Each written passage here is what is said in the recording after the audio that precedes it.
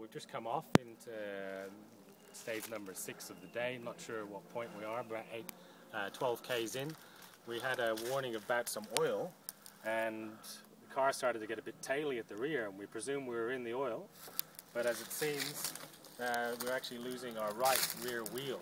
So it got very, very taily and um, bounced up in the air, and we've ended up in this uh, over in the ditch here.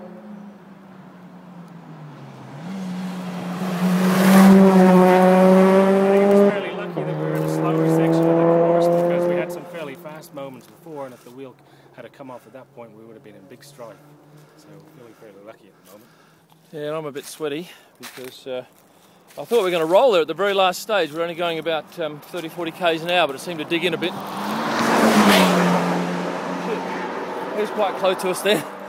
So uh, that's the end of today. Hopefully we can get the thing back up and running by tomorrow and get at least one run up Mount Buller. So there you go. That's our damage. Looks like it's sheared the whole wheel off at the center nut.